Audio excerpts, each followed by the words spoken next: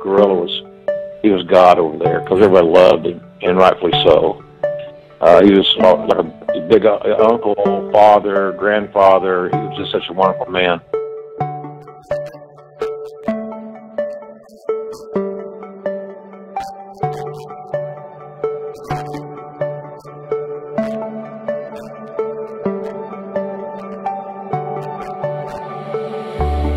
he just was so remarkable in so many ways and personified class. Uh, I made a tour with an Olympic wrestling team in 1959, went to Russia, Turkey, Bulgaria, Czechoslovakia, quite a few Iron Curtain countries, uh, doing promotional work for the 1960 Olympics.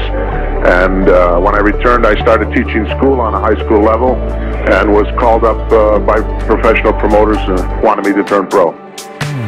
Gorilla's contributions to the wrestling business, probably being an announcer, was one of the minor ones because he was a hotshot amateur. He was one of the biggest stars in the business, literally and figuratively. You know, at the time when athletes weren't that big, he was six foot six, and, and he had wrestled at a big size in, in college and was pretty dominant as an amateur greatest match that I was ever involved in, uh, no question in my mind, uh, was against Bruno Sammartino in Madison Square Garden. We went an hour and 28 minutes without a fall. He was a tremendous guy. He weighed 420 pounds, legit. He really weighed that much. Monsoon was a big man, yes, but he could move. He could, in the ring, he could display good wrestling maneuvers. He was agile for such a big, big man. I had the utmost respect for Gino. For his size, I think he was one of the very best. All right, Gino, Monsoon, I tell you, you're my friend. That pencil, yeah. I can't understand how you can sit next to this guy to hold. Well, it's a contractual agreement. I have to do that.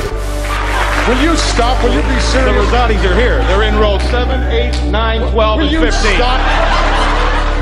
Don't touch anything, Barbara. Don't touch the chandelier. Will you I'm getting out of here. Run for your life. You're not going anywhere. Sit down. Will you stop? That won't last them three minutes in Will there. Will you stop? Sit down. Let me tell you something. What do you mean that man should be condemned. Will you stop? Will you stop? They never rehearsed a thing it was just like, okay, what do you want to talk about? I don't know, what do you want to talk about? And nobody ever took anything personal. I don't think anyone will ever touch them. And even if someone does, they'll say they're the best since Bobby and Gorilla. Nothing for you. Nothing for me. Are you serious? Yes, I am serious. You wouldn't go without nothing? Here, pal. Peel it and have a ball. They have a battle plan? Will you stop? Yes. Will you stop and pay attention to what's going on here? Will you stop? That's not necessary. Will you stop? Will you stop? Will you stop? Give me a break.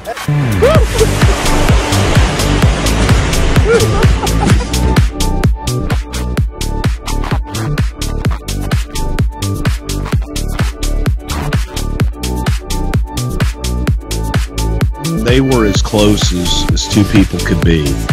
And they loved each other like brothers and, you know, took care of each other. They were a part of each other's each other's lives and their families. They vacationed together and they were they were always around and loved one another. I could never get tired of hearing Jesse Ventura say, Oh, Gorilla, and then Gorilla would go off on a thing. Oh, I can't believe this is going on or whatever. Gorilla Monsoon, in my opinion, was a hell of a damn announcer, commentator, whatever you want to call it. I think he'll go he'll go down as one of the most important people in, in, the wrestling business. He was he was just such a huge huge part of it in so many ways for so many years. Gorilla's son Joey Marella passed away in a horrible car accident. That moment changed Gino going forward. A big piece of him died the day Joey died. That was the moment that in a lot of ways he gave up. He just wasn't taking care of himself. At the same time, you know, he he just wanted to spend time with his friends.